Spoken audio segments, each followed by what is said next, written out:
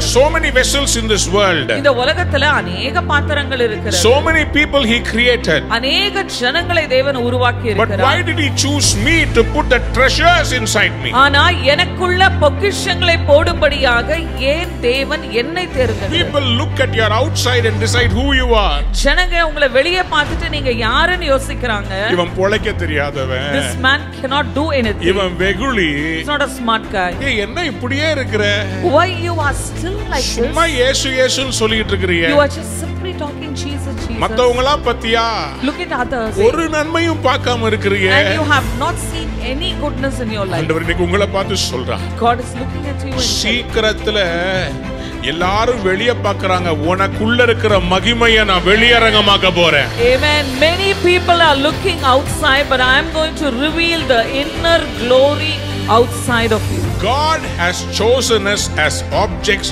of his mercy. அவர் நம்மை கிருபா பாத்திரங்களாக தேர்ந்தெடுத்திருக்கிறார் The world looked at Jacob and said he is a deceiver. உலகம் யாக்கோபை பார்த்து இவன் ஒரு ஏமாத்துக்காரன் என்று சொல்லியிருந்தது But the Lord said, No, no, no, no. He is a prince. He's got nations inside him. Amen. ஆனா ஆண்டவர் சொல்லுகிறார் இல்ல இல்ல இல்ல அவன் ராஜகுமாரனா இருக்கிறான் அவனுக்குள்ள தேசங்கள் அடங்கி இருக்கிறது உங்களை எதெல்லாம் உடைத்ததோ அது சரித்திரம் படைக்க போகிறது Whatever has broken, it has made history today. ஏன் உடைச்சீங்க Why have you broken it, Lord? அப்பதான் மகளே உனக்குள்ள இருக்கிற அந்த வாசனையை மத்தவங்களுக்கு புரிய வைக்க முடியும் Only then the perfume which is inside you will be understood by others. You are a vessel of God's glory. நீங்க தேவா தேவனின் மகிமா பாத்திரங்களா You are இருக்கிறீர்கள் born to win. நீங்கள் ஜெயிக்க பிறந்தவர்கள் God's miracles will be explicit through you. உங்கள் மூலமாக அற்புத அடையாளங்கள் வெளியரங்கமாகும் I have told you I will destroy. நான் சொன்னேன் நான் அழிப்பேன் என்று But I am the God. ஆனா நான் தேவனாய் இருக்கிறேன் I can draw you again. I can make you again. I will build you again. நான் திரும்பவுமாக உன்னை கட்டி உருவாக்கி நிலைநிறுத்துவேன் Isaiah 40 and verse 5. ஏசாயா நாற்பதாம் அதிகாரம் ஐந்தாம் வசனம் The glory of the Lord will be revealed, கர்த்தரின் மகிமை வெளியரங்கமாகும் and all mankind will see it. மாம்சமான யாவும் அதை ஏகமாய் காணும் Somebody said, Amen. Amen. And God is not going to manifest His glory in a place or somewhere. He's going to manifest His glory on you. தேவ மகிமையை உங்கள் மேல் வெளியரங்கமாக ஆக்க போகிறார் How many of you believe it? Say Amen. Amen. Somebody turn to your neighbor and say, Through me, என் மூலமாக through me, God is going to manifest the N glory. மூலமாக தேவ மகிமை வெளியரங்கமாக I போகிறார் have been chosen for glory. நான் மகிமைக்காக தேர்ந்தெடுக்கப்பட்டிருக்கிறேன் Today, I have a powerful prophetic word for you. இன்றைக்கு உங்களுக்காக வல்லமையான தீர்க்க தரிசன வார்த்தையை And I வைத்திருக்கிறேன் believe it is going to transform your life. உங்கள் வாழ்க்கையவே மறுரூபப்படுத்த போகிறது If you believe that, say Amen. விசுவாசிக்கிறீங்களா I want to declare over your life this particular verse. இந்த வசனத்தை உங்கள் வாழ்க்கையின் மேல் பிரகடனப்படுத்த போகிறேன் And it is going to transform you. அது உங்களை மறுரூபமாக்க போகிறது Romans chapter 9, verse 19 onwards. இப்படியானால் அவர் இன்னும் ஏன் குற்றம் பிடிக்கிறார் அவர் சித்தத்துக்கு எதிர் நிற்பவன் யார் என்று என்னுடனே சொல்லுவாய் அப்படியானால் மனுஷனே தேவனோடு எதிர்த்து தர்க்கிக்கிற நீ யார்? உருவாக்கப்பட்ட வஸ்து உருவாக்கினவனை நோக்கி நீ என்னை ஏன் இப்படி உண்டாக்கினாய் என்று சொல்லலாமா? மிதியிட்ட ஒரே களிமண்ணினாலே குயவன் ஒரு பாத்திரத்தை கனமான காரியத்துக்கும் ஒரு பாத்திரத்தை கனவீனமான காரியத்துக்கும் பண்ணுகிறதற்கு மண்ணின் மேல் அவனுக்கு அதிகாரம் இல்லையோ? தேவன் தமது கோபத்தை காண்பிக்கவும் தமது வல்லமையை தெரிவிக்கவும் தாம் மகிமைக்காக எத்தனமாக்கின கிருபா பாத்திரங்கள் மேல் தம்முடைய மகிமையின் ஐஸ்வர்யத்தை தெரியப்படுத்தவும் சித்தமாய் அழிவுக்கு எத்தனமாக்கப்பட்ட கோபாக்கினை பாத்திரங்கள் மேல் மிகவும் நீடிய சாந்தத்தோடே பொறுமையாய் இருந்தாரானால் உனக்கென்ன? கைகளை உயர்த்தி அலையா சொல்றீங்களா? இன்னும் சத்தமா ஒரு ஆமேன்னு சொல்லுங்க. மேலுள்ள வசனங்களை நான் வாசிக்கிறேன். இருபத்தி நான்கு இருபத்தி ஐந்து இருபத்தி ஆறையும் வாசிக்க போகிறேன். அவர் யூதரிலிருந்து மாத்திரமல்ல புறஜாதிகளிலும் இருந்து நம்மை அழைத்திருக்கிறாரே. அந்தபடி எனக்கு ஜனங்கள் அல்லாதவர்களை என்னுடைய ஜனங்கள் என்றும் சிநேகிக்கப்படாதிருந்தவளை சிநேகிக்கப்பட்டவள் என்றும் சொல்லி அழைப்பேன். நீங்கள் என்னுடைய ஜனங்கள் அல்லவென்று அவர்களுக்கு சொல்லப்பட்ட இடத்திலே அவர்கள் ஜீவனுள்ள தேவனுடைய பிள்ளைகள் எனப்படுவார்கள் என்று ஓசியாவின் தீர்க்க தரிசனத்தில் சொல்லி இருக்கிறது சத்தமா ஒரு ஆமேன் சொல்லுங்க பாப்போம். Amen. Hallelujah Hallelujah. Hallelujah Hallelujah. It's a powerful word, verse 23. இருபத்தி மூணு வல்லமையான வசனமாய் இருக்கிறது This is a very powerful, deep truth God wants to reveal to you today. இந்த நாள்ல தேவன் உங்களுக்கு இந்த ஆழமான சத்தியத்தை உணர்த்த விரும்புகிறார் But before we go further, நாம் அதற்கு முன்பாக செல்வதற்கு முன்பாக let us look at who we are in Christ. கிறிஸ்துவுக்குள் நாம் யார் என்று நாம் பார்ப்போமா The Bible says we are vessels. நாம் பாத்திரங்களாய் இருக்கிறோம் என்று வேதாகமம் Amen. சொல்லுகிறது ஆமென் We are not ordinary vessels. நாம் சாதாரண பாத்திரம் அல்ல We are vessels of grace, Kripa பாத்திரங்களாய் இருக்கிறோம் vessels of mercy. கிருபையின் பா- இரக்கங்களின் பாத்திரமாய் இருக்கிறோம் Somebody turn to your neighbor and say, vessel of mercy. கிருபையின் பாத்திரம் இரக்கத்தின் பாத்திரம் Amen. Amen We are called like that by God. தேவனால் நாம் அப்படி அழைக்க பெற்றிருக்கிறோம் Why? எதற்காக Because we are uh, a clay in the potter's hands. குயவன் கைகளில் இருக்கிற களிமண்ணை போல் நாம் இருக்கிறோம் In Jeremiah chapter 18, எரேமியா பதினெட்டாம் அதிகாரத்தில் we see that the prophet is being led to a potter's house. தீர்க்கதரிசி ஒரு குயவன் வீட்டுக்கு போகும்படியாக ஆவியானவர் ஏவுகிறார் The Lord says, Go to the potter's house. ஆண்டவர் சொல்லுகிறார் நீ குயவன் வீட்டிற்கு போ There I will speak with you. அங்கே என் வார்த்தைகளை உனக்கு தெரிவிப்பேன் So when the prophet went inside, தீர்க்கதரிசி உள்ளே போகும்பொழுது the potter was putting a wheel and he was making a pot. அவன் அந்த திரிகையில் ஒரு ஒரு பானையை செய்து கொண்டிருந்தான் Yes, have you seen a potter sitting on a pot? நீங்க ஒரு குயவன் அந்த திரிகையில் உட்கார்ந்து இருக்கிறத பார்த்திருக்கிறீங்களா There has to be a, a circling and then there has to be a creating. அந்த அந்த திரிகையில் அதை சுற்றி ஒரு காரியம் நடைபெறுகிறது அது நிமித்தம் ஒரு உருவாக்குதல் ஆரம்பிக்கிறது You see, when the wheel is turning, uh, something is being made or created. அந்த சக்கரம் அதை சுழன்று கொண்டு வரும்பொழுது ஏதோ ஒரு காரியம் உருவாக்கப்பட்டிருக்கிறது That wheel is the time frame that is happening. அந்த சக்கரமானது கால சக்கரமாக இருக்கிறது. And God has a clay in his hands, that is you and me. ஆண்டவர் அவர் கைகளில களிமண்ணை வைத்திருக்கிறார். அந்த களிமண் தான் நீங்களும் நானும். What starts at, uh, you know, a lump of clay, ஒரு களிமண் கட்டியை போல ஆரம்பிக்கப்படுகிறது. it becomes a beautiful vessel. அது ஒரு அழகான பாத்திரமாக வணைகிறது. Somebody shout hallelujah. ஹalleluya முதல்ல ஒரு கட்டியா தாங்க கத்தர ஆரம்பிப்பார் நம்மள.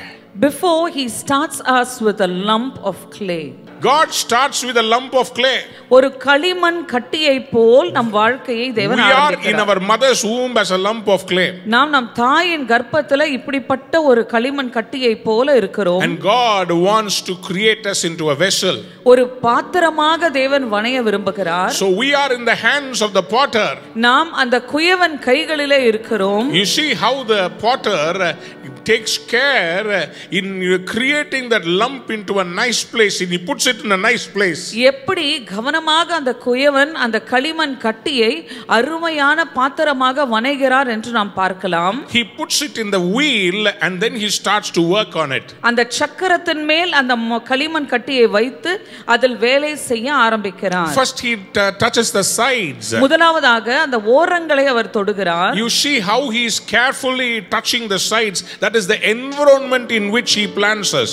பாருங்க எவ்வளவு கவனமாக அந்த ஓரங்களை தொடுகிறார் அதுதான் நாம் இருக்கிற சூழ்நிலை The family that God puts us in. ஆண்டவர் நம்மளை வைத்திருக்கிற குடும்பத்தை குறிக்கிறது It uh, denotes our uh, father and mother நம் தாய் தகப்பனை குறிக்கிறது on whom we are built. யார் மூலமாக நாம் கட்டப்படுகிறோமோ அதை then one குறிக்கிறது day, ஒரு நாள் the potter keeps his hand in the center. அந்த குயவன் நடுவில் நடுவில் கைகளை வைக்கிறார் He touches our heart. நம் இருதயத்தை தொடுகிறார் Why? எதற்காக He wants to create a new pot. ஏன் நான் ஒரு புதிய பாத்திரத்தை அவர் வணைய விரும்புகிறார் When God presses you in the center, ஆண்டவர் உங்களை நடுவில் அமுக்கும் பொழுது it is not to destroy you. உங்களை அழிப்பதற்காக அல்ல It is to create you into a beautiful vessel. அழகான பாத்திரமாய் உங்களை உருவாவதற்காக தேவன் அதை செய்கிறார் Unless He touches you in the center, உங்கள் மையத்தில் அவர் தொடவில்லை என்றால் you cannot become what God has called you to be. தேவன் எதற்காக உம்மை அழைத்திருக்கிறாரோ அந்த பாத்திரமாக நீங்கள் மாற முடியாது After He touches your heart, உங்கள் இருதயத்தை தொட்ட பிறகு then He will start working in the inside of your heart. அதுக்கப்புறம் உங்கள் இருதயத்திற்குள்ளே வேலை செய்ய He ஆரம்பிக்கிறார் will closely work with His hands such a way wherever He wants, uh, He will make it bulge or come inside. அவர் நெருக்கமாக தன் கைகளை வைத்து உங்கள் மூலமாக வேலை செய்வார். எந்த இடத்துல பெருசாக வேண்டுமோ அதை செய்வார். எந்த இடத்துல குறுக வேண்டுமோ அதையும் தேவன் செய்வார். எதற்காக தெரியுமா? You know why he does உங்களை அழகுபடுத்துவதற்காக உங்க மேல கத்தர் வேலை செஞ்சுக்கிட்டே இருப்பார். Amen. God will keep working on you to beautify you. சில வேளைகள்ல நம்ம கிட்ட இருந்து சில காரியங்களை கத்தர் கட் பண்ணி எடுப்பார். Sometimes he cuts off certain things from us அந்த ஓரத்துல இருக்கிற சில காரியங்களை கட் பண்ணி எடுப்பார் he will cut off certain things from the edges சில நண்பர்களை நம்மிடத்துல இருந்து பிரிப்பார் he will uh, depart certain friends from you எதற்காக தெரியுமா you know why உங்களை கர்த்தர் அப்பழுக்கற்றவர்களாய் தான் விரும்புகிறபடி உருவாக்குவதற்காக Amen. Because He wants to create you as His desired vessel. Hallelujah. Hallelujah. In 2 Corinthians chapter 4 verse 7, ரெண்டு கொரிந்தியர் நான்காம் அதிகாரம் ஏழாம் வசனத்தில் this is what Paul says to the Corinthians. இப்படிதான் பவுல் கொரிந்தியர் சபைக்கு சொல்லுகிறார் But we have this treasure in earthen vessels that the excellency of the power may be of God and not of us. இந்த மகத்துவமுள்ள வல்லமை எங்களால் உண்டாயிராமல் தேவனால் உண்டாயிருக்கிறதென்று விளங்கும்படி இந்த பொக்கிஷத்தை மண் பாண்டங்களில் பெற்றிருக்கிறோம் Hallelujah. Hallelujah. What is uh, very precious in uh, most powerful or strong and enduring places? விலையேற பெற்ற பொருட்களை நாம் எப்பொழுதும் பத்திரமாக இருக்கிற ஒரு ஒரு உயர ஸ்தானத்தில் அதை நாம் மறைத்து வைப்போம். The bank does not have a clay room. பேங்க்குக்குள்ள ஒரு களிமண் அறை இல்லை. Where they put all the documents and all the jewels. எல்லா டாக்குமெண்ட்ஸையும் நகைகளும் வைக்கிற ஒரு இடமாய் It is இருக்கிறது made out of metal, இரும்பினால் செய்யப்படுகிற உறுதியான structure. அது ஒரு உறுதியான ஒரு இடமாய் இருக்கிறது There it is called the strong room. அது வந்து ஒரு உறுதியான ஒரு அறையாக இருக்கிறது ஒரு ஸ்ட்ராங் ரூம் அல்லது ஒரு பாதுகாப்பான. பாதுகாப்பான இடம் என்று சொல்லுவாங்க லாக்கர் ரூம் இருக்கு பாத்தீங்களா it is not made out of just ordinary clay ஒரு சாதாரண களிமண்ணினால் அந்த லாக்கர் ரூம் செய்யப்பட முடியாது. But when god wanted to put his power தேவனுடைய வல்லமையை கொடுக்க வேண்டும் என்று தேவன் நினைத்த பொழுது he did not choose a strong person. ஒரு பல பலமான ஒரு மனிதனை அவர் he தேர்ந்தெடுக்கவில்லை chose earthen vessels. அவர் இப்படிப்பட்ட களி மண்ணை தேவன் தேர்ந்தெடுத்தார். He chose us. அவர் நம்மை தேர்ந்தெடுத்தார். We are weak.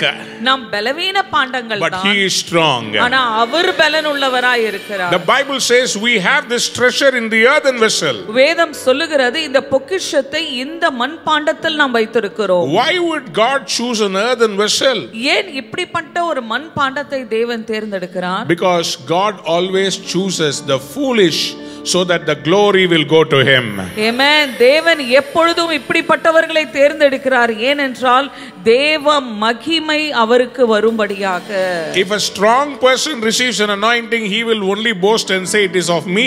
ஒரு பலனுள்ளவன் அபிஷேகத்தை பெற்றுக்கொண்டான் என்றால் ஏன் என் பலத்துல தான் நான் அதை பெற்றுக்கொண்டேன் என்று சொல்லுவான் But a weak person like us, ஒரு பலவீனமான பாண்டமாய் when we receive the treasure, நாம் அந்த பொக்கிஷத்தை பெற்றுக்கொள்ளும் பொழுது we all know it is not through us, it is for him. நாம் அதை பெற்றுக்கொள்ளும் போது இது நம்மளால் ஆனதல்ல இது அவர் மூலமாக என்று அறிந்து கொள்ளுகிறோம் That's what Paul tells the Corinthians. அதுதான் கொரிந்தியர் சபைக்கு பவுல் சொல்லுகிறார் This uh, excellency of the power. இந்த மகத்துவமான வல்லமை How many of you believe we have received the excellency of God's power? எத்தனை பேர் விசுவாசிக்கிறீங்க தேவனுடைய மகத்தான வல்லமையை நாம் பெற்றுக்கொண்டிருக்கிறோம் We have creative power. நமக்குள்ள அந்த உருவாக்குகிற வல்லமை வல்லமை இருக்கிறது The Lord said, uh, Let there be light, and it came. ஆண்டவர் சொன்னார் வெளிச்சம் உண்டாக கடவதென்று வெளிச்சம் வந்தது Same authority He has given us. அதே அதிகாரத்தை தான் தேவன் நமக்கும் In தந்திருக்கிறார் Isaiah 45 11, ஏசாயா நாற்பத்தி ஐந்தாம் அதிகாரம் பதினோராம் வசனத்தில் He says, Command my hands, அவர் சொல்லுகிறார் என் கரத்தின் கிரியைகளுக்கு கட்டளை கொடுங்கள் என்று சொல்லுகிறார் and I will do it. நான் அதை உங்களுக்காக செய்வேன் How many of you want to give command to the hands of Lord? எத்தனை பேர் தேவனுடைய கரத்திற்கு கட்டளை கொடுக்க வேண்டும் என்று விரும்புகிறீர்கள் God did not say cry, ஆண்டவர் நீங்கள் அழுங்கள் என்று சொல்லவில்லை He said command. நீங்கள் கட்டளை கொடுங்கள் என்று சொல்லுகிறார் Jesus emphasized the same thing. இயேசு இதே காரியத்தை தான் உறுதிப்படுத்தி சொல்லுகிறார் He said, If you speak to the mountain, நீங்க மலையை பார்த்து பேசுவீர்கள் என்றால் be thou removed and be cast into the நீ sea. பெயர்ந்து கடலிலே போய் விழு என்று சொல்லும் பொழுது Earthen vessel. நாம் ஒரு மண் பாண்டமாய் இருக்கிறோம் In Genesis chapter 2, ஆதியாகமம் இரண்டாம் அதிகாரத்தில் in verse 7, ஏழாம் வசனத்தில் we see the creation of man.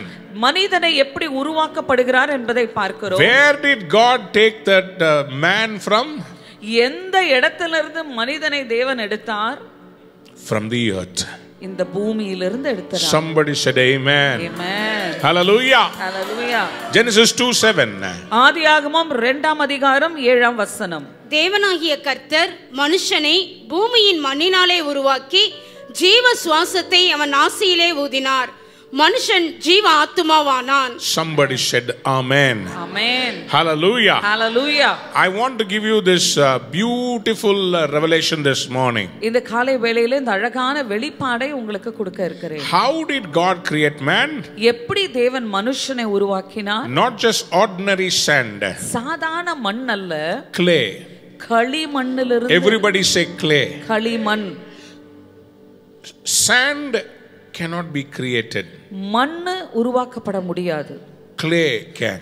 ஆனா களிமண் மூலமாக நாம் உருவாக்கலாம் How did the clay come?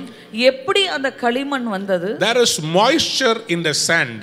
அந்த மண்ணுக்குள் ஈரப்பதம். ஈரப்பதம் இருக்கிறது That is what makes it a clay.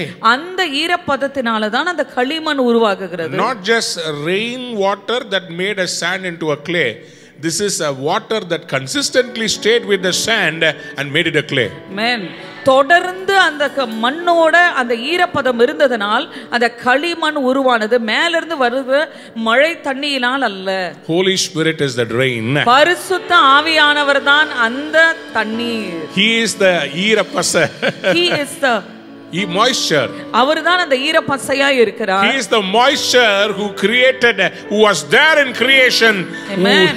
hallelujah. ஆமென் சிருஷ்டிக்கப்படும் போது பரிசுத்த ஆவியானவர் அந்த ஈரப்பதமாய் இருந்து அதன் மூலமாக தான் நாம் உருவாக்கப்பட்டு When that moisture leaves, அந்த ஈரப்பதம் விட்டு போகும்பொழுது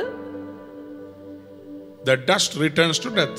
இந்த மண் திரும்பவுமாக பூமிக்கு வந்து வடைகிறது ஒரு மனிதன் இறந்த பிறகு அவனை புதைத்தால் If a man dies, when you bury him in the mud, அவரை கொண்டு போய் பெட்டியில வச்சு உள்ள வச்சிடுறோம் you keep them in a coffin and you bury him. சில வருடங்களுக்கு பிறகு திறந்து பார்த்தா After a few years, when you open that and see, அங்க எதுவுமே இல்ல nothing is found. வெறும் மண்ணு தான் இருக்கு Only mud is there. என்னையா உள்ள வைக்கும் போது நல்ல எலும்பு சதையுமா இருந்தாங்க When I kept them inside, they had body, bones, and flesh.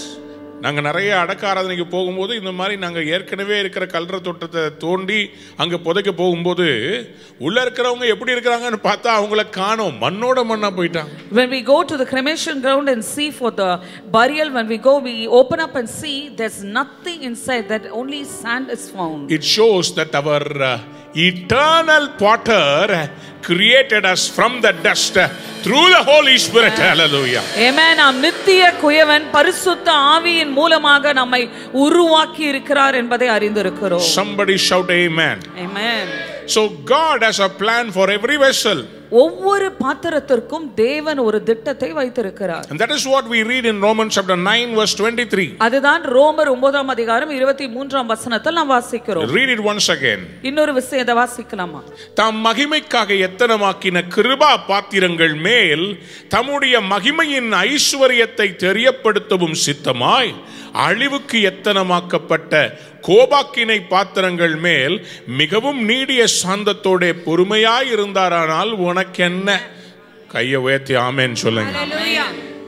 தாம் மகிமைக்காக எத்தனமாக்கின கிருபா பாத்திரங்கள். Wow Amen. Hallelujah. Hallelujah. My question is என் கேள்வி இதுதான் if you understand this verse, இந்த வசனத்தை நீங்க புரிந்து கொண்டீர்கள் என்றால் you will never look at yourself as a victim, but you will look at yourself as a victor. Amen. நீங்கள் உங்களை ஒரு தோல்வியாக பார்க்காதபடி உங்களை ஜெயாலியாக பார்ப்பீர்கள் God has chosen us as objects of His mercy. அவர் நம்மை கிருபா பாத்திரங்களாக தேர்ந்தெடுத்திருக்கிறார் Amen. Hallelujah. Hallelujah. உங்களுக்கு புரியல உங்களை உருவாக்கும் போதே இந்த பாத்திரத்துல என் மகிமையை நான் விளங்க பண்ணுவேன்னு கர்த்தர் உருவாக்குறதுக்கு முன்னாடியே Amen. Before he could create this vessel, he decided this is going to be a vessel of mercy. in your house உங்க வீட்ல there are many vessels. நிறைய பாத்திரங்க இருக்கு There is a vessel for just boiling water.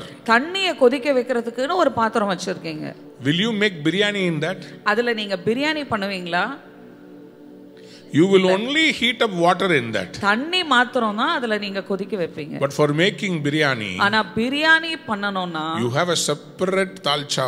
அதுக்கு பெரிய தனியா ஒரு தேக்ஸா இருக்கு ஆமா அந்த தேக்ஷா பாத்தீங்கன்னா அதை பார்த்தாலே தெரியும் இது biryani தேக்ஷா when you see that biryani deksha you will know that this is only for biryani When they created that deksha, அந்த கடையில அந்த தேக்ஷாவை உருவாக்கின போது they made it for biryani. அது பிரியாணி பண்றதுக்காக தான் உருவாக்கின பாத்திரம் It is not just for heating water. சாதா தண்ணிய கொதிக்க வைக்கிறதுக்கு அதுக்கு When இல்ல God created mankind, கர்த்தர் மனு குலத்தை உருவாக்கின பொழுது He wanted to put His glory inside. அவருடைய மகிமையை அதற்குள் போட விரும்பினார் Here is what the most important thing. I want you to get ready to clap your hands. Are you ready?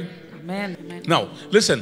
The Bible says வேதம் சொல்லுகிறது He has already chosen us ஏற்கனவே உங்களை தேர்ந்தெடுத்து விட்டார் to reveal His glory. அவருடைய மகிமையை உங்கள் மூலமாக வெளிப்படுத்தும்படியாக Already chosen for glory. ஏற்கனவே மகிமைக்காக தேர்ந்தெடுத்தார் Already chosen for glory. ஏற்கனவே மகிமைக்காக He has தேர்ந்தெடுத்தார் prepared us in advance for God's glory. ஏமேன் முன்பாகவே தேவ மகிமையை பெற்றுக்கொள்ளத்தக்கதாக நம்மை உருவாக்கி வைத்திருக்கிறார் Somebody said Amen. Amen There might be a delay, ஒருவேளை அது தாமதமாகலாம் but the glory will be revealed through your earthen pot. ஆனா உங்க மண்பாண்டத்தின் மூலமாக தேவ மகிமை வெளியரங்கமாகும் You are a vessel of God's glory. நீங்க தேவ தேவனின் மகிமா பாத்திரங்களா You இருக்கிறீர்கள் are born to win.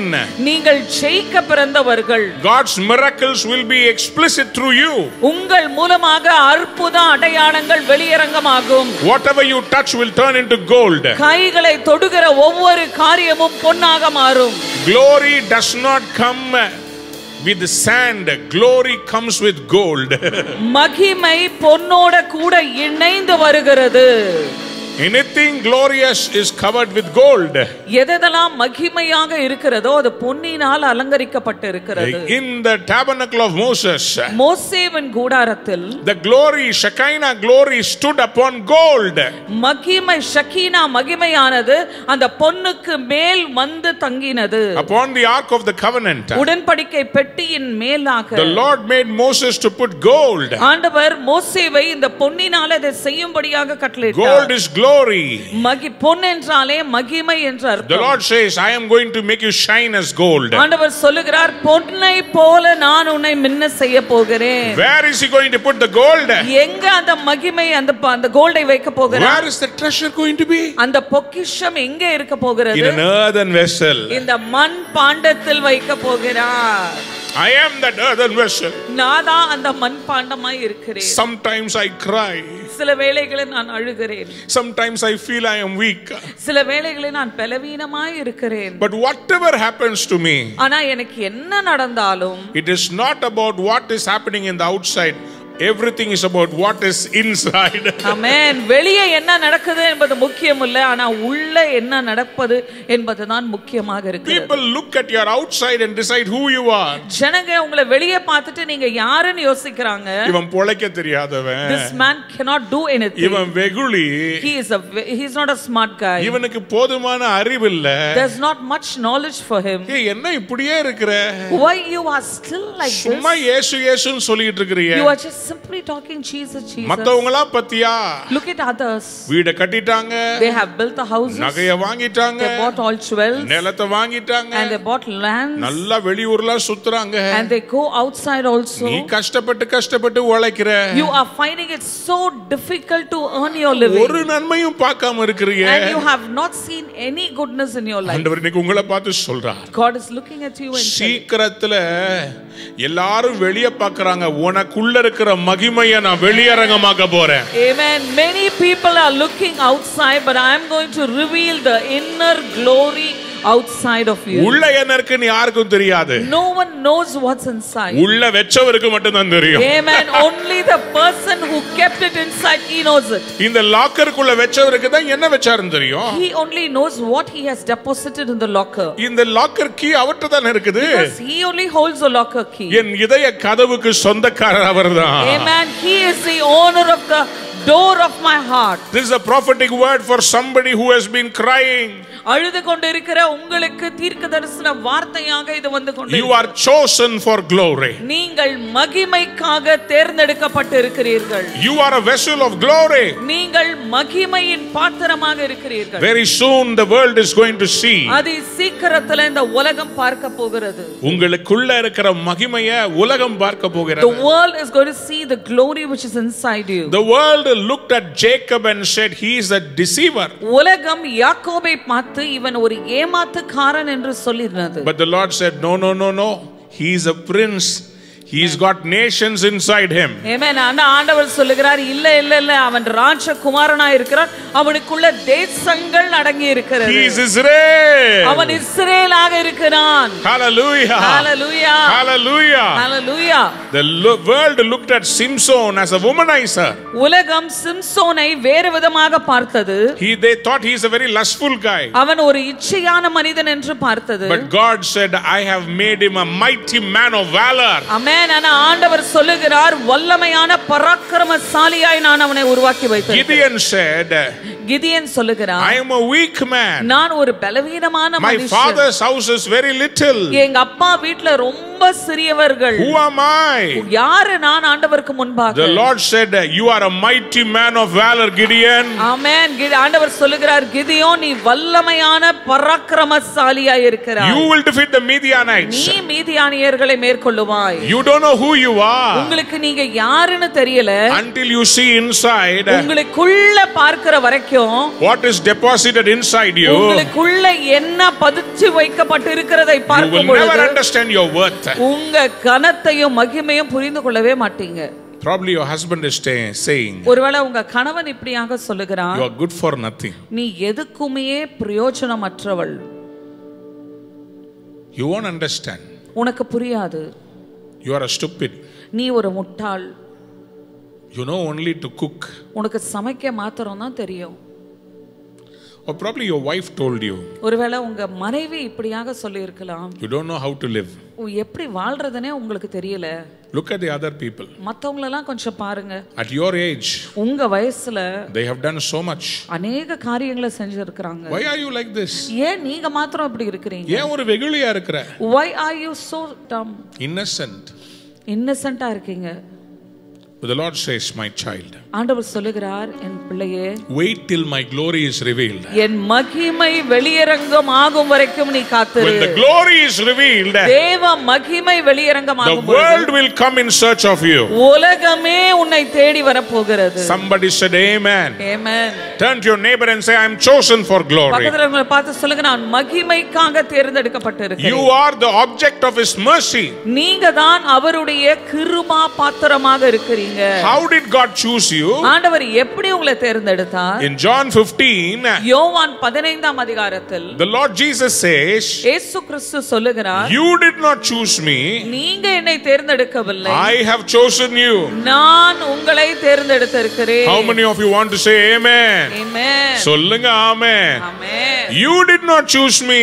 நீங்க என்னை தேர்ந்தெடுக்கவில்லை My God, my Lord. என் தேவனே என் தேவனே How what a mighty God I serve. என்ன ஒரு வல்லமையான தேவனை நான் சேவிக்கிறேன் I did not get to be saved. He saved me. Amen. நான் என் மூலமாக ரட்சிக்கப்படவில்லை என் தேவன் என்னை ரட்சித்தார் Hallelujah. Hallelujah. In Ephesians chapter 2, எபேசியர் இரண்டாம் அதிகாரத்தில் verse 3 to 10, மூன்றாம் வசனத்திலிருந்து பத்தாம் வசனம் வரையில் it says why he chose us. ஏன் நம்மை தேர்ந்தெடுத்தார் என்று There are போடப்பட்டிருக்கிறது so many vessels in this world, இந்த உலகத்துல அநேக பாத்திரங்கள் இருக்கிறது so many people he created. அநேக ஜனங்களை தேவன் உருவாக்கி But why இருக்கிறார் did he choose me to put the treasures inside me? ஆனா எனக்குள்ள பொக்கிஷங்களை போடும்படியாக ஏன் தேவன் என்னை தேர்ந்தெடுத்தார் Number one, he's a sovereign God. முதலாவதாக அவர் சகலத்தையும் ஆளுகிற தேவனாய் இருக்கிறார் He has uh, uh, unlimited power அவருக்குள்ள அளவில்லாத வல்லமை இருக்கிறது and he is God. அவர் தேவனாய் He இருக்கிறார் doesn't need to ask man permission. ம- மனுஷங்கிட்ட பெர்மிஷன் கேட்க வேண்டிய அவசியம் இல்லை தேவனுக்கு Somebody lift your hands and say Amen. Amen Hallelujah. Hallelujah In Isaiah 45 verse 9, ஏசாயா 45 அதிகாரம் அ, ஒன்பதாம் வசனத்தில் the Bible says, வேதம் சொல்லுகிறது. வாசிங்க. மண்ணோடுகளுக்கு ஒத்த ஓடாயிருந்தும் தன்னை உருவாக்கினவரோடே வழக்காடுகிறவனுக்கு ஐயோ. களிமண் தன்னை உருவாக்கினவனை நோக்கி என்ன செய்கிறாய்? என்று சொல்லத்தகுமோ? உன் கிரியையானது அவருக்கு கைகள் இல்லை என்று சொல்லலாமோ? Hallelujah. Hallelujah You cannot ask the potter, What are you doing? உருவாக்கினவரை பார்த்து நீங்க என்ன செய்றீங்கன்னு சொல்லி நாம் கேட்கவே முடியாது Because the potter has the uh, will to perform what he desires. ஏன்னா அவருக்கு என்ன சித்தமோ குயவன் அதை செய்து முடிக்கிறதற்கான அதிகாரத்தை உடையவராய் இருக்கிறார் Somebody said, Hallelujah. Hallelujah That's what Romans 9:21 also says. அதுதான் ரோமர் ஒன்பதாம் அதிகாரம் இருபத்தி ஓராம் வசனமும் சொல்லுகிறது Does not the potter have the right to make out the same lump of clay, some pottery for special pos- purposes and some for common use? ஒரே களிமண்ணினாலே குயவன் ஒரு பாத்திரத்தை கனமான காரியத்திற்கும் ஒரு பாத்திரத்தை கனவீனமான காரியத்திற்கும் பண்ணுகிறதற்கு மண்ணின் மேல் அவனுக்கு அதிகாரம் இல்லையோ He has the authority. Amen. அவருக்கு அதிகாரம் உண்டு Amen. சொல்லுங்க. ஆமென் That means according to sovereignty and authority, இந்த அதிகாரமும் சர்வ வல்லமையும் இணைந்து he has chosen me. அவர் என்னை தேர்ந்தெடுத்திருக்கிறார் Chosen me as a vessel of glory. என்னை மகிமா பாத்திரமாய் தேர்ந்தெடுத்திருக்கிறார் Somebody say I was chosen. நான் How many தேர்ந்தெடுக்கப்பட்டிருக்கிறேன் of you believe that say I am chosen by God? தேவனால் தேர்ந்தெடுக்கப்பட்டிருக்கிறேன் Hallelujah. Hallelujah. I am chosen for treasures. நான் பொக்கிஷங்களுக்காக தேர்ந்தெடுக்கப்பட்டிருக்கிறேன் Through me, people are going to be blessed. என் மூலமாக ஜனங்கள் ஆசீர்வதிக்கப்பட போகிறார்கள் Whatever God has deposited inside me எதெல்லாம் தேவன் எனக்குள்ள வைத்திருக்கிறாரோ is precious.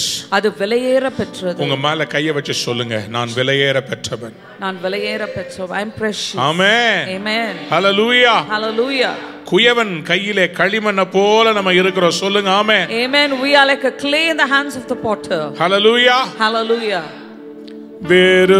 வெறுமையான பாத்திரம் நான் வேறுத்து தள்ளாமலே. நீரம்பி வழியும் பாத்திரமான் வீழங்க செய்தேடுமே. மறுபடி பாடலாமா? வேறுமையான பாத்திரம் நான் வேறுத்து தள்ளாமலே. நீரம்பி வழியும் பாத்திரமாய் வீழங்க செய்தேடுமே. வேதத்தில் காணும் பாத்திரமெல்லாம் இயேசுவை போற்றிடுமே. என்னையும் அவ்வித பாத்திரமாய் வணைந்து கொள்ளுமே. கைகளை உயர்த்தி சொல்லுங்க. வேதத்தில் காணும் பாத்திரமெல்லாம் இயேசுவை போற்றிடுமே. என்னையும் அவ்வித பாத்திரமா வணைந்து கொள்ளுமே. What a beautiful God. என்ன அருமையான தேவனை நாம் சேவிக்கிறோம் He has chosen me for glory. தேவ மகிமைக்காக அவர் நம்மை தேர்ந்தெடுத்திருக்கிறார் It doesn't matter whether I am a broken pot or I am a pot which is intact. நான் உடைக்கப்பட்ட ஒரு பாத்திரமா இல்லனா நான் ஒரு சரியான பாத்திரமா என்று சொல்லி அவசியம் தேவையில்லை In the olden times, பழைய ஏற்பாட்டு நாட்களில் whenever they had costly perfume, எப்போலாம் அவர்கள் வெளியேற பெற்ற அந்த வாசனை திரவியத்தை they வைத்திருந்தார்கள் will always keep it in a, a clay pot. அதை ஒரு மண் பாண்டத்திற்குள்ளதான் அதை அடக்கி They வைப்பார்கள் will put the perfume and seal it. அந்த பெர்ஃப்யூமை அந்த வாசனை திரவியத்தை உள்ளே போட்டு அடைத்து வைப்பார்கள் So, whatever is treasured inside, உள்ளுக்குள்ள எதெல்லாம் அதை பொக்கிஷமாக வைக்கப்பட்டு it இருக்கிறதோ is always sealed. எப்போதுமே அது மூடி போடப்பட்டு இருக்கிறது It looks like it has not got any worth. வெளியே பார்க்கும் பொழுது அதுல எந்த பிரயோஜனமும் இல்லாதது போல இருக்கிறது The woman, uh, Mary, had a precious perfume. மரியாளிடம் இந்த வெளியேற பெற்ற இந்த வாசனை திரவியத்தை வைத்திருந்தார் One day when Jesus came uh, ஒரு நாள் இயேசு வரும் பொழுது and he was dining, அவர் அந்த இடத்துல உணவு அருந்தி கொண்டிருக்கும் பொழுது Matthew 26 7 says, மத்தேயு இருபத்தி ஆறாம் அதிகாரம் இரு- ஏழாம் வசனம் இப்படியாக சொல்லுகிறது. She bought that precious uh, uh, perfume, அந்த வெளியேற பெற்ற பரிமள தைலத்தை அவர் அவள் கொண்டு வருகிறார். she broke it open, அதை உடைத்து and she poured it on the head of Jesus. இயேசுவின் தலையின் மேல் அதை ஊற்றுகிறார். The whole room was filled with perfume. அந்த முழு அறையே அந்த வாசனையினால் நிரம்பி The இருந்தது disciples got angry. சீஷர்கள் கோபப்பட்டார்கள் Why are you wasting such a costly perfume?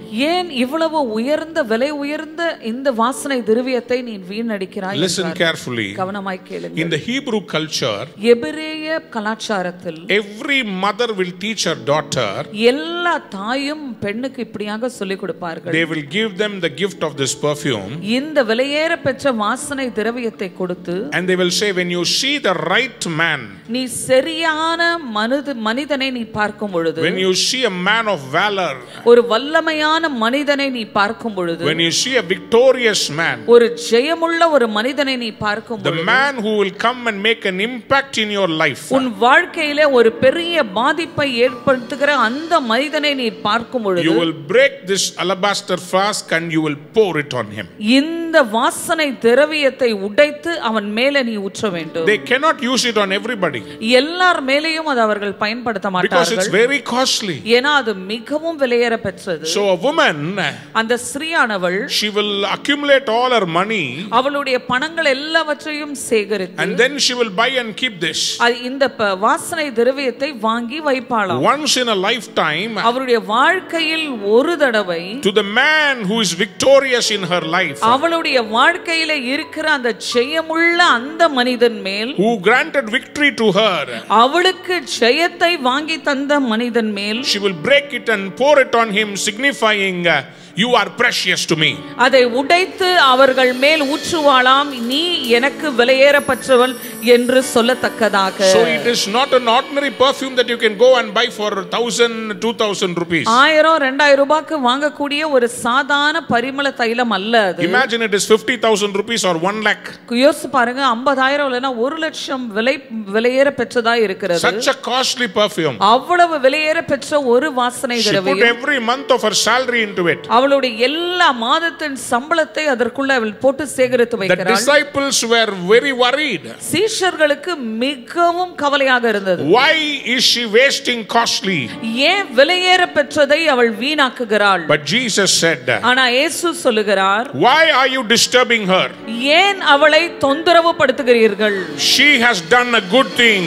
ஏமேன் அவள் ஒரு நற்கிரியையை செய்திருக்கிறாள் Always the poor are with you. எப்போதுமே ஏழைங்க இருக்கதான் செய்வாங்க. But she has broken herself. ஆனா அவளையே அவள் உடைத்திருக்கிறாள்.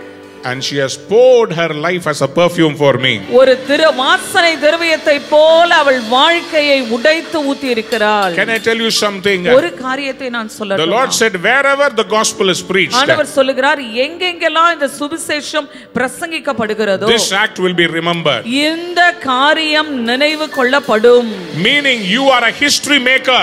நீங்கள் ஒரு சரித்திரம் படைக்கிறவர்கள் உங்களை எதெல்லாம் உடைத்ததோ அது சரித்திரம் படைக்க போகிறது whatever has broken, it has made history today. ஏன் உடைச்சீங்க Why have you broken it, Lord? அப்பதான் மகளே உனக்குள்ள இருக்கிற அந்த வாசனையை மத்தவங்களுக்கு புரிய வைக்க முடியும் Only then the perfume which is inside you will be understood by others. ஏன் என் கணவனை எடுத்தீங்க Why have you taken my husband away? மகளே Daughter, நான் potter I am the potter amen. நான் குயவனாக இருக்கிறேன். எனக்கு தெரியாதா Don't I know what I'm doing? இந்த பாத்திரம் எவ்வளவு தாங்கும்னு எனக்கு தெரியாதா Don't I know how much this vessel can contain? தொடர்ந்து பூமியில இருந்தா உன்னுடைய கணவன் புழு புழுத்து துடி துடித்து உன் கண்ணுக்கு முன்னாடி கேவலமா போயிருப்பான் ஆகவேதான் நான் என்னுடைய ராஜ்யத்துக்கு அழைத்து வழி இல்லாத தேசத்துல வைத்திருக்கிறேன் Amen. I have called him to the kingdom where there's no pain there. you are a history maker நீங்கள் சரித்திரம் படைக்கிறவர் wherever this gospel is preached எந்த இடத்திலெல்லாம் இது பிரசங்கிக்கப்படுகிறதோ your sacrifice will be remembered உங்கள் பலி அந்த இடத்தில் நினைவு கூறப்படும் somebody lift your hands and say amen amen you are going through this pain நீங்க இந்த வலிக்குள்ள கடந்து you செல்கிறீர்கள் are going through this brokenness இந்த உடைக்கப்பட்ட த- நிலைமையில் இருக்கிறீங்க only for a season ஒரு காலகட்டத்துக்கு தான் நீங்க அப்படி இருப்பீங்க the lord is going to do a mighty work again திரும்பவுமாக ஒரு வல்லமையான காரியத்தை தேவன் உங்களுக்கு செய்ய போகிறார் he is again going to build you அவர் மறுபடியும் உங்களை கட்டி எழுப்ப போகிறார் somebody said amen amen in jeremiah 18 verse 4 எரேமியா பதினெட்டாம் அதிகாரம் நான்காம் வசனத்தில் the bible says uh, the pot in the hands of the po- potter uh, was dis- was uh, distraught குயவன் கையில இருந்த அந்த மண் பாத்திரம் கெட்டு போயிற்று அவர் கையிலேயே கெட்டு போயிட்டான் in his hands it was uh, broken. So what does the potter do? அந்த குயவன் என்ன செய்கிறார் he என்றால் doesn't throw away the clay. அந்த களிமண்ணை அவர் தூக்கி போட்டு விடவில்லை. He works again on it. அவர் திரும்பவுமாக அந்த களிமண்குள்ள வேலை செய்ய ஆரம்பிக்கிறார். And to his eyes அவருடைய கண் பார்க்க what is perfect? எதெல்லாம் சீராக இருக்கிறதோ he again makes it. திரும்பவுமாக அதை உருவாக்குகிறார். ஆமென் this is the prophecy about israel இது இஸ்ரவேலை குறித்ததான தீர்க்க தரிசனமாய் இருக்கிறது the lord looked at the prophet jeremiah and said எரேமியா தீர்க்கதரிசியை பார்த்து தேவன் i சொல்லுகிறார் am the potter நான் தான் அந்த குயவன் you are the clay நீங்க தான் அந்த களிமண் in verse 6 he says that to them ஆறாம் வசனத்தில் அப்படியாக சொல்லுகிறார் i have told you i will destroy நான் சொன்னேன் நான் அழிப்பேன் என்று but i am the god ஆனா நான் தேவனாய் இருக்கிறேன் i can draw you again i can make you again i will build you again நான் திரும்பவுமாக உன்னை கட்டி உருவாக்கி நிலைநிறுத்துவேன் but you sir ஆனா நீங்க you have to change you have to repent நீங்கள் மனம் திரும்ப வேண்டும் somebody said amen Amen. in verse uh, 8 he says நான் மனம் மாறுவேன்னு சொல்றார் எப்போ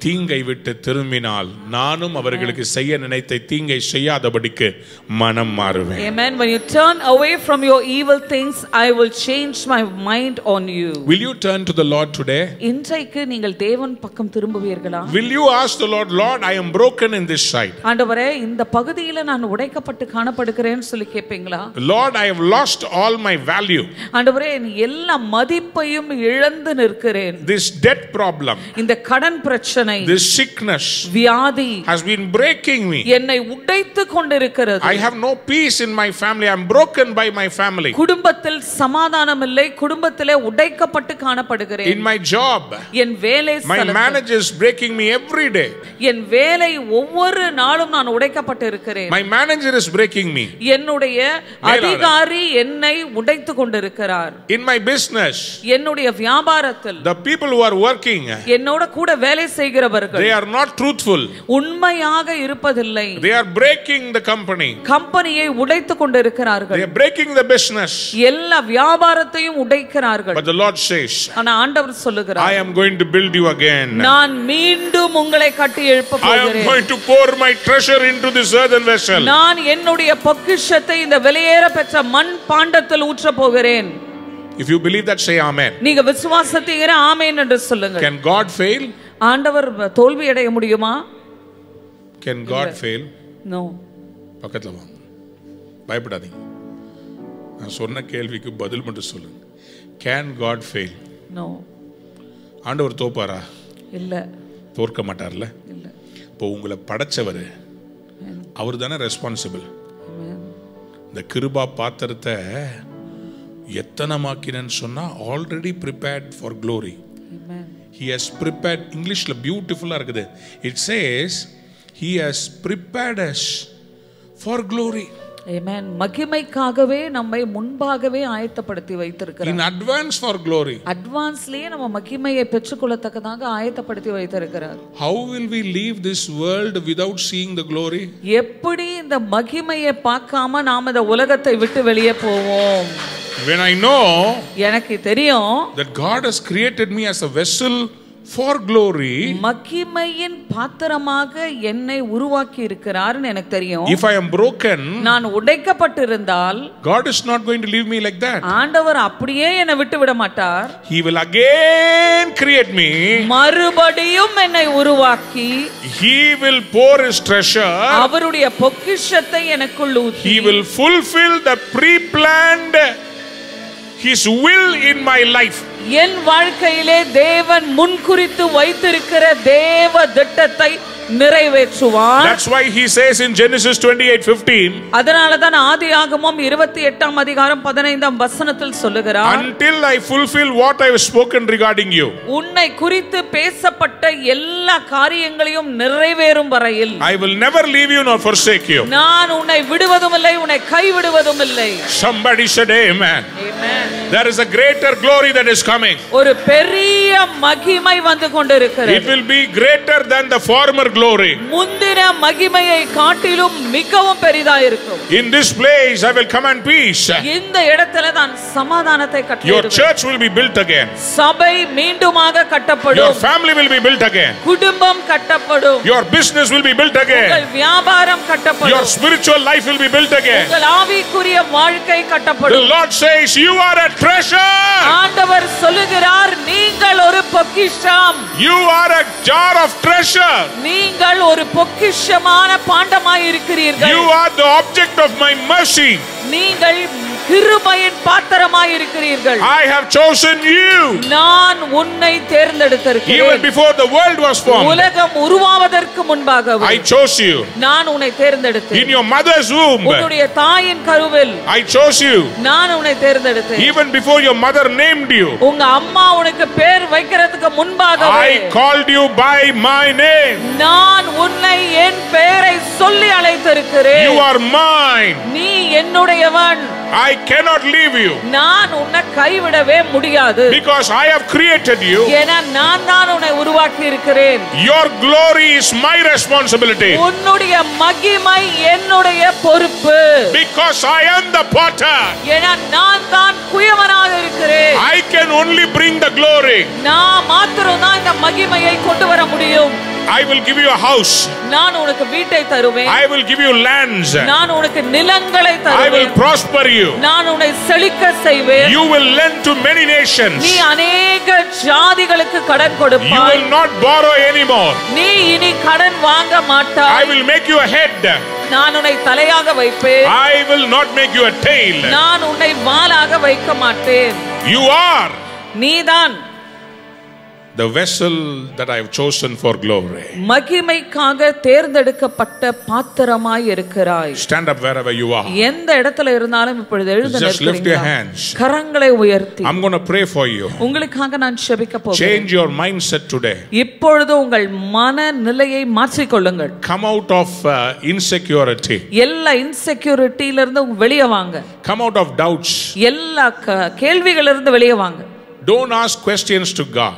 ஆண்டவரை பார்த்து கேள்வி கேட்டுட்டு இருக்காதீங்க Can the pot or the clay ask the potter, What are you doing? களிமண் அந்த குயவனை பார்த்து என்ன செய்கிறாய் என்று கேட்க முடியுமா I'm just going to close with this verse. இந்த வசனத்தை சொல்லி நான் முடிக்க போகிறேன் Romans chapter 8, ரோமர் எட்டாம் அதிகாரம் verse 30. முப்பதாம் வசனம் Let's read 29 and 30. இருபத்தி ஒன்பது முப்பதை நாம் வாசிக்கலாம் Romans chapter 8, verse 29 and 30. ரோமர் எட்டாம் அதிகாரம் வசனங்கள் இருபத்தி ஒன்பது முப்பது தம்முடைய குமாரன் அநேக சகோதரருக்குள்ளே முதற் பேரானவராய் இருக்கும் பொருட்டு தேவன் எவர்களை முன்னறிந்தாரோ Whom he has predestined, அவர்களை தமது குமாரனுடைய சாயலுக்கு ஒப்பாயிருப்பதற்கு ஆ. முன்குறித்திருக்கிறார் he has already pre chosen them. Somebody said, Amen. Amen. குமாரனுடைய சாயலுக்கு ஒப்பாய் இருக்கிறதுக்கு நம்மளை எல்லாம் நம்மளை எல்லாம் அதுக்கு தான் கிறிஸ்தவர்னு கூப்பிடுறார்.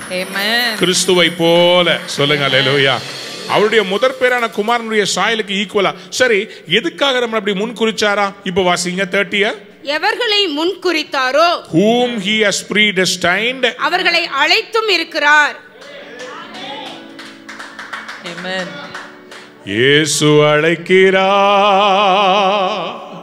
இயேசு அழைக்கிறா யார் அழைச்சாரு? முன்குறித்தவங்களை. Amen. யாரு சத்தத்துக்கு செவி சாய்ச்சது? என் ஆடுகள் என் சத்தத்துக்கு. ஏன் நீயும் நானும் ரட்சிக்கப்பட்டோம்னா ஏன்னா நம்மள முன்னாடியே தெரிந்தெடுத்துட்டாரு Amen. Why you and I are being saved? Because already He has chosen us. என் ஸ்கூல்ல என் கூட படிச்ச நல்ல நல்ல பசங்கள்லாம் இன்னைக்கு பாவத்துல இருக்கிறாங்க In my school, those who studied with me, all the good boys are now not in a good shape. ஆனா அன்னைக்கு கெட்டவனா இருந்த நானு இன்னைக்கு நல்லவனாகி கத்தருடைய சுவிசேஷத்தை அறிவிக்கிறேன் But that day I was not good, but today I have become a good person and I am speaking ஏன்னா- the gospel to many people. ஏன்னா ஆண்டவர் என்ன முன் குறிச்சிருக்கிறார் Because God has already pre-chosen me. முன் குறித்த என்னதான் அவர் அழைத்தார் Because He's already chosen me, that's why He's called me. Because he called me என்ன நடந்துச்சா என்னை அழைத்ததனால் என்ன நடந்தது எவர்களை அழைத்தாரோ. அவர்களை நீதிமான்கள் ஆக்கியும் இருக்கிறார் when he called me he made me righteous Amen. என்னை அழைத்து நீதிமானாய் மாற்றி இருக்கிறார் somebody said amen Amen. You and i are made righteous நீங்களும் நானும் நீதிமான்களாய் இருக்கிறோம் okay what is the uh, blessing of becoming righteous நீதிமானாய் இருக்கிறதன் ஆசீர்வாதம் என்ன எவர்களை நீதிமான்கள் ஆக்கினாரோ. அவர்களை மகிமைப்படுத்தியும் இருக்கிறார் Amen. Amen. somebody shout amen Amen. pre-chose me முன் குறித்திருக்கிறார் then he called me அழைத்திருக்கிறார் then he made me righteous நீதிமானாய் ஆக்கியிருக்கிறார் now இப்பொழுது i am just waiting நான் காத்திருக்கிறேன் for god to glorify me தேவன் என்னை மகிமைப்படுத்தும்படியாக காத்திருக்கிறேன் i am waiting for god's glory to manifest through me தேவ மகிமை என் மூலமாக வெளியரங்கம் ஆவதற்கு நான் காத்திருக்கிறேன் that when i stretch my hands நான் கரங்களை நீட்டும் பொழுது dead people will rise up மரித்தவர்கள் உயிரோடு எழும்புவார்கள் sick people will be healed வியாதியஸ்தர்கள் சுகத்தை பெற்றுக் கொள்வார்கள் cancer will disappear கேன்சர் மறைந்து போகும் legs will grow கால்கள் வளரும் eyes will be created கண்கள் உருவாக்கப்படும் the dumb will speak பேச முடியாதவர்கள் பேசுவார்கள் those who can't hear will hear கேட்காதவர்கள் கேட்பார்கள். Because the lord has poured his treasure inside me. ஏன்னா அவருடைய பொக்கிஷத்தை எனக்குள் ஊத்தி இருக்கிறார் i am the object of his mercy. நான் அவருடைய இரக்கத்தின் பாத்திரமாய் இருக்கிறேன். Chosen for his glory. அவருடைய மகிமைக்காக தேர்ந்தெடுக்கப்பட்டிருக்கிறேன். Are you ready நீங்கள் ஆயத்தமா இருக்கீங்களா to become that vessel of honor அந்த மகிமையின் பாத்திரத்திற்கு ஆயத்தமாக இருக்கீங்களா don't look at the outside வெளியே பார்க்காதீங்க it's all about thing inside என்ன உள்ள இருக்கிறதோ அதுதான் முக்கியம் you are a great person நீங்கள் ஒரு வல்லமையான மனிதர் you are a treasure in god's sight நீங்கள் தேவனுடைய கைகளில் இருக்கிற பொக்கிஷமா இருக்கீங்க very soon the people will understand your worth அதே சீக்கிரத்துல உங்கள் நீங்கள் விலையேற பெற்றவர்கள் என்று புரிந்து கொள்ளுவார்கள் when jesus was in the world இயேசு உலகத்துல இருக்கும் பொழுது people did not understand him ஜனங்க அவரை புரிந்து கொள்ளவில்லை but when jesus christ rose from the dead ஆனா இயேசு கிறிஸ்து மரித்தோரிலிருந்து உயிரோடு எழும்பின பிறகு he revealed his glory to the whole mankind இந்த முழு மனு குலத்துக்கும் அவருடைய மகிமையை வெளியரங்கமாக்கினார் you are the object of his mercy chosen for his glory தேவ மகிமைக்காக தேர்ந்தெடுக்கப்பட்ட இரக்கத்தின் பாத்திரமாய் இருக்கிறீர்கள் i bless you in the name of jesus இயேசுவின் நாமத்தினால உங்களை ஆசீர்வதி father i thank you for this wonderful message you have given us today பிதாவே இந்த நாள்ல கொடுக்கப்பட்ட இந்த விலையேற பெற்ற செய்திக்காக நன்றி செலுத்துகிறோம் you have chosen chosen us, Lord, நீங்கள் எங்களை for your தேர்ந்தெடுத்திருக்கிறீர்கள் glory. உங்க மகிமைக்காக And I believe நான் the விசுவாசிக்கிறேன் season to glorify your name through us has started. Amen. எங்க மூலமாக உங்க நாமத்தை மகிமைப்படுத்துகிற நேரம் I ஆரம்பித்தாயிற்று believe with all my heart. என் முழு இருதயத்தோடு நான் அதை From this விசுவாசிக்கிறேன். year, இந்த வருடத்திலிருந்து No darkness. இருள் கிடையாது The glory of the Lord is going to shine upon me. தேவ மகிமை என் மேலே உதிக்க போகிறது You are my God. நீங்கள் என் தேவனாய் இருக்கிறீர்கள் You will glorify your name through me. உங்க நாமத்தை என் மூலமாக I மகிமைப்படுத்துவேன் love you. உங்களை நேசிக்கிறேன் ஆண்டவர் I worship you. உம்மை ஆராதிக்கிறோம் ஆண்டவரே You are my God. நீர் என்னுடைய தேவன் I take your glory. உங்க மகிமையை நான் I எடுத்துக்கொள்கிறேன் receive your glory. உங்கள் மகிமையை நான் பெற்றுக்கொள்ளுகிறேன் Somebody shout glory. மகிமை Father, I bless your children. பிதாவே உங்க பிள்ளைகளை ஆசீர்வதி Glorify your name. உங்க நாமத்தை மகிமைப்படுத்து Very soon, அதி the சீக்கிரத்தில் miracle that they have been praying for எந்த அற்புதத்துக்காக ஜெபித்துக் கொண்டு is இருக்கிறார்கள் going to manifest in glory. மகிமையில் அது வெளியரங்கமாக போகிறது Thank you for this wonderful message you have given. இந்த அருமையான செய்திக்காக நன்றி செலுத்துகிறோம் Thank you ஆண்டவரே. for the revelation to teach us it's not outside, it's what inside that's precious. அப்பா இந்த வெளிப்பாடுக்காக நன்றி ராஜா பொக்கிஷங்கள் வெளியே அல்ல உள்ளே இருக்கிறது என்று இன்றைக்கு எங்களுக்கு கற்பித்தீரே We love you, Father. அப்பிதாவே உம்மை நாங்கள் நேசிக்கிறோம் We thank you, Jesus. த- நன்றி இயேசுவே Thank you, Holy Spirit. பரிசுத்தாவியானவரே உமக்கு நன்றி Bless each and every one. ஒவ்வொருவரையும் In Jesus' name we pray. இயேசுவின் நாமத்தினால ஜெபிக்கிறோம் Amen. அன்பான நேயர்களே இந்நிகழ்ச்சியில் கொடுக்கப்பட்ட வாக்குத்தத்தங்களும் தீர்க்க தரிசன வார்த்தைகளும் உங்களுக்கு ஆசீர்வாதமாய் இருந்திருக்கும் என்று நாங்கள் நம்புகிறோம் நீங்கள் பெற்ற ஆசீர்வாதங்களையும் ஜெப விண்ணப்பங்களையும் மற்றும் உங்கள் காணிக்கைகளையும் அனுப்ப வேண்டிய எங்கள் முகவரி. ரூவா ஊழியங்கள் எண் எண்பத்தி ரெண்டு ஜவஹர்லால் நேரு சாலை சிம்ஸ் மருத்துவமனை எதிரில் வடபழனி சென்னை இருபத்தி ஆறு. உங்கள் காணிக்கைகளை ஆன்லைன் மூலமாக எளிதாக செலுத்தலாம்.